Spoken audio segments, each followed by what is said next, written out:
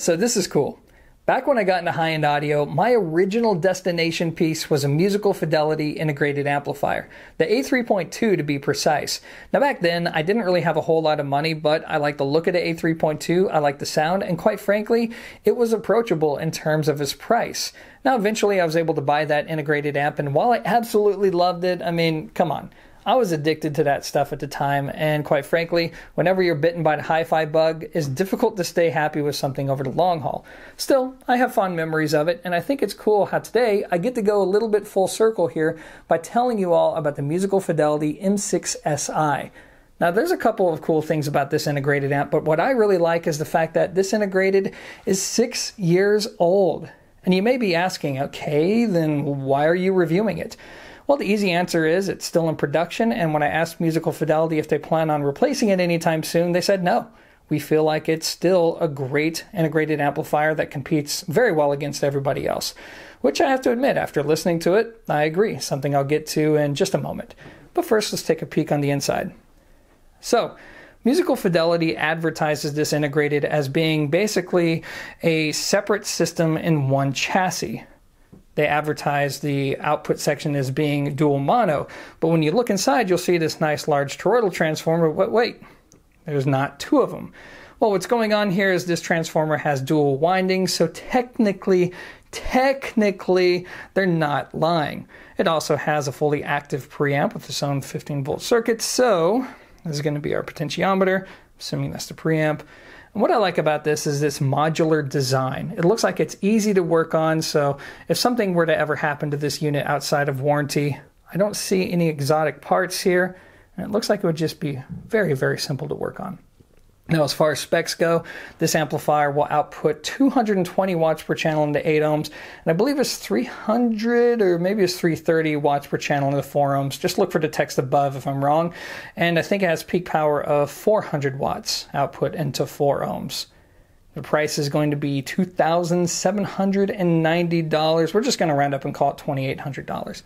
So now what we're going to do is we're going to pay a little bit more attention to chassis and front of the unit. We have these thick metal pieces that are just always satisfying when you're spending this kind of money. These heat sinks look pretty cool. So now let's bring our attention to the front of the unit. All right, so as you can tell, it has this very clean aesthetic going on. So why don't we go ahead and turn it on? When you do, illuminate this nice blue color. So there's not a lot of features here, at least not in the front. So we have a power button. We have a CD button, this is going to be our USB input. This has a built-in USB DAC. Phono stage, it has a built-in moving magnet, moving coil phono stage. This big, all metal volume control. Then we have a button for tuner, auxiliary, auxiliary 2, balanced, and we have a spot for the remote control. Remote control is this flimsy little plastic thing, but you know what? That's okay. So why don't we do this? Let's uh actually, you know what? Let me stop myself right there and show you the remote that I'm talking about. So this is it, and as you can tell, it's nothing fancy, just a basic plastic remote, but hey, it gets the job done, right? So let's move on by taking a look at the back of this unit. Okay, so here's the back of the M6SI. So let's quickly go over the different inputs and outputs. On the top row, we have a set of terminals for our speaker cables. Next to that, we have a spot for ground in case you need it. We have a trigger in, trigger out. And then on the bottom row, on the very left-hand corner, we have a USB input for a DAC. This is a 24-bit 96 kilohertz DAC. Next to that, we have a set of balanced inputs. Then beneath our ground terminal, we have a phono stage. This is going to be moving magnet and moving coil. You can switch between those two here. And then next to that, we have a bunch bunch of different analog inputs, starting with aux1 slash HT. So this is cool. This is actually a home theater bypass, and if you want to use it as such, just click the switch. Very nice. Next to that, we have a number of different inputs, auxiliary 2, CD, tuner. We have a line out, and we also have a pre-out, which is very cool. Next to that, we have the IEC inlet for the power cord, and then look at that. This is made in March 2017, which begs the question this integrated has been out forever, so why do so many people still really enjoy it? Well, let's talk about that now.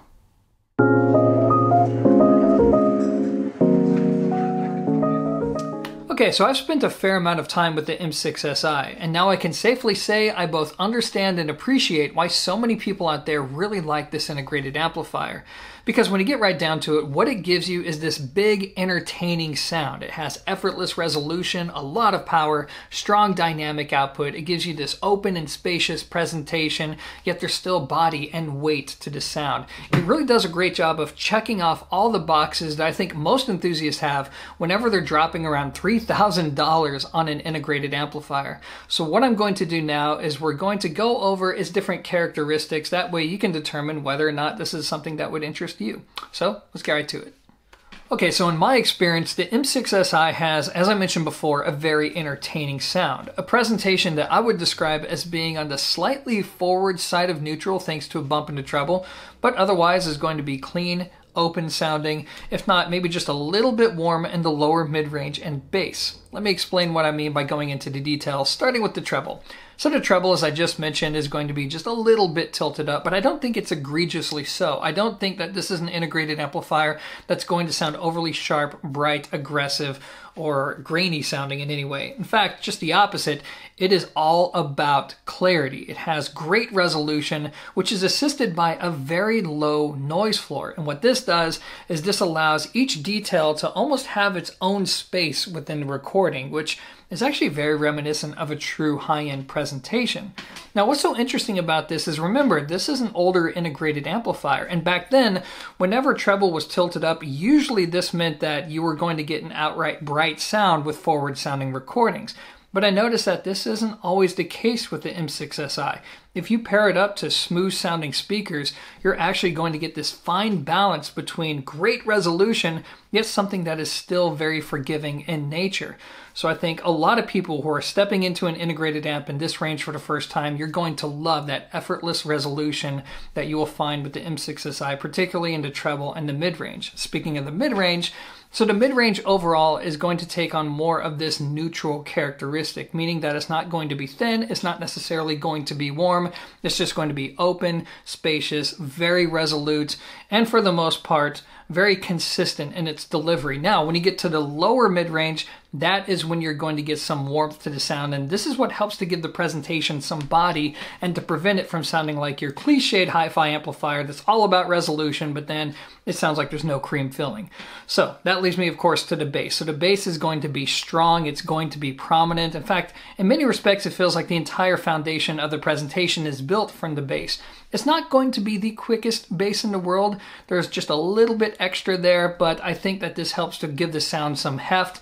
And I also think that it has a very pleasing tone. Now moving on, let's talk about dynamic output because to me, this is a strong suit for the M6SI. It is a very dynamic amplifier. And this is great news for people who listen to classical music because a lot of the emotion that you experience in classical music can be felt through those dynamic contrasts. And the M6SI, whether it's micro or macro, does a great job in this regard. And then, of course, we have to talk about power output capabilities. It is a monster. And what's great about its power delivery is not only does it have a lot of power, but it's very linear. In other words, you don't really have to dig heavily into the volume in order to get a lot of power out of it. And plus, this helps to give you confidence. It means that almost regardless of the speakers that you own, odds are it will drive them very well and to louder volumes, to the volumes that you may want to listen to. And there's something to be said for that because even a lot of other integrated amplifiers in this range can't necessarily do all of that while delivering good power, but this one can.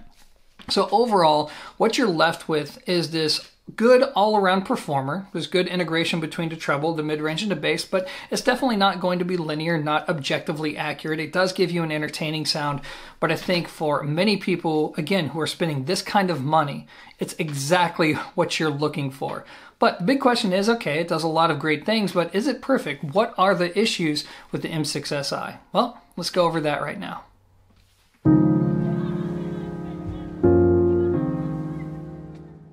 You know, when you take a step back and you just look at the M6SI for what it is, it's difficult to come up with any glaring weaknesses, which again is probably why people really like this integrated amp. But still, I can come up with three things worth talking about here. The first being the most obvious observation, which is it lacks any kind of streaming capabilities. Now, this is to be expected for an integrated amplifier that's around six years in age, but what that means is that if you're somebody who's searching for a one box solution today in 2020 and streaming is your main way of consuming music and you don't want to buy a separate streamer, then that's going to be a deal killer. Moving on, this integrated amplifier runs unusually warm to the touch even when no music is playing. Now, you may think that it's because it's heavily biased into Class A, but that's actually not the case. It is barely biased into Class A. This is predominantly a Class B integrated amplifier, yet despite that, it still runs very warm, just something to be aware of. And then lastly, look, as with every hi-fi component, not everybody is going to like the sound. It has a big, muscular, entertaining presentation. Some people may feel like it's too much of a good thing, or maybe they'll get tired of it over the long haul. And then there's going to be occasions to where it may not pair up well to certain types of loudspeakers. And that leads me to some tips and advice about what you can do to get great performance out of the M6SI.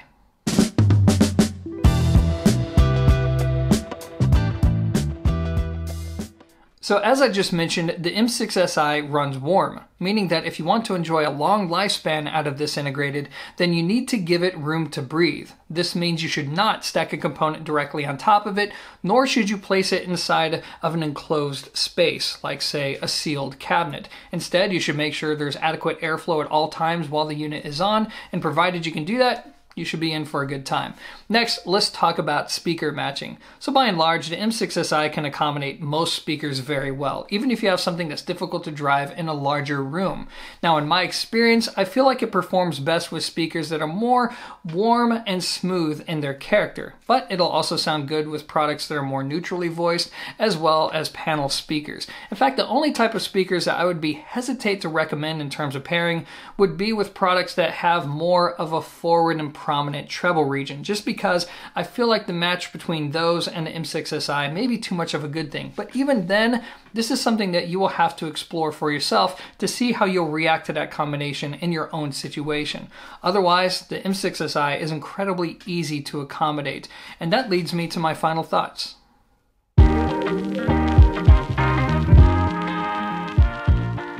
You know, in some respects, the M6SI reminds me of the Triangle BR03. Hear me out for a second.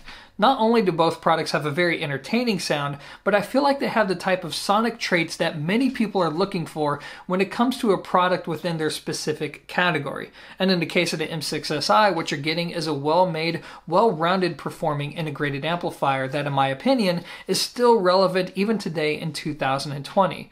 Now, subjectively speaking, my reaction to this integrated amplifier was mostly positive. I say mostly because I admit that with bright sounding speakers, especially more forward and dynamic dynamic sounding speakers. I feel like the combination is just too much of a good thing. The treble's just a little too prominent, and quite frankly, I felt like I was listening to something with the loudness button on pretty much at all times. But when I pair up the M6SI to more neutral to laid back and warm sounding speakers, this is when I think it really shines. In fact, I don't mind saying not only did it sound great with my Dynaudio Evokes and my Harbeth P3s, but I could see myself living with the M6SI Harbeth P3 combination for many years. And for those of you who know me, I mean, that's a pretty big compliment because this is a part of my desktop system and my desktop system gets more use than my main system. So ultimately, that is going to be my take on the M6SI. Stick around if you're into comparisons, but if you're not, then thanks for watching and until next time, peace. Alright, so first up is the Musical Fidelity M6SI and the Parasound Halo Hint 6. Now what makes this comparison so fun is that both integrated amplifiers have a powerful, muscular, if not a slightly warm presentation. And plus, both have been around for a while and they're known for offering reliable, well-rounded performance. But having said that, there are going to be differences between the two, so first, let's start off with Musical Fidelity. Overall, the musical fidelity is going to offer a cleaner sounding presentation, particularly throughout the mid-range and the treble. Speaking of treble, the treble is going to be a bit more lively and tilted up for the musical fidelity, and the detail is also going to come across as more effortless thanks to a notably lower noise floor. You're also going to get better focusing within the soundstage, and plus it's going to give you a more dynamic sounding presentation. However, the Parasound also has its advantages. I feel like the top end is slightly smoother than the musical fidelity, and one could argue that it's a bit more even keeled in terms of tonal balance. I'm talking about the ability to integrate the treble, the mid range, and the bass effortlessly. Speaking of bass, I also feel like the bass is a little bit tighter and more controlled through the Parasound. And even though the Parasound retails for $200 more than the musical fidelity, I think all the features that you get with the Parasound makes up for that. Anyways, look, here's the bottom line.